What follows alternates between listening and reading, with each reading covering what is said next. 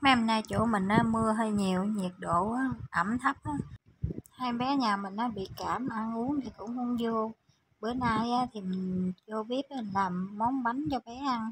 Sẵn còn ít khoai lang nè bỏ vô nồi cơm mình hấp. Bây giờ mình lấy ra khoai lang á, thì à, mình căng nha. Ví dụ như mình căng khoai lang á, nửa ký thì mình bỏ lượng bột á, ít hơn phân nửa của khoai lang thôi. Khoai lang sau khi hấp á, mình thì giả nhuyễn ra nè cái bánh này thì nói chung cũng dễ làm đó cả nhà. Cả nhà chỉ có cái nồi chiên không dầu là làm được rồi. Còn cái lượng đường á, thì mình bỏ tùy theo nhà mình ăn á, ngọt hay lạc thôi. Xong thì mình đập cái trứng gà mình bỏ vô bỏ thêm ờ, ít sữa béo nữa với một ít nước cốt dừa nữa. Sau đó mình trộn cái hỗn hợp này lên. Cả nhà muốn cho bánh nó thơm thì mình bỏ thêm một muỗng vani nữa nha xong đó thì mình bỏ thêm một muỗng dầu ăn nữa cho bánh mình hồi nướng lên đó, nó bóng hơn đó.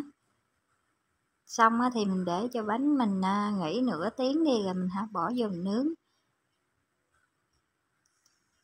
Mình nướng này cũng dễ thôi mới đầu thì mình nướng nhiệt độ cao trong vòng 20 phút sau đó thì mình nướng à, nhiệt độ 160 độ thì trong vòng 20 phút nữa là bánh mình chín rồi đó cả nhà thấy cái bánh màu hấp dẫn chưa chưa? Mình cắt ra bánh mình nó rất mềm rất xốp luôn nha.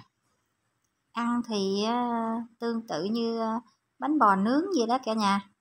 Mà nó đặc biệt là, là nó rất béo luôn nha. Nó rất béo với thơm cái mùi vani hồi nãy mình để đó.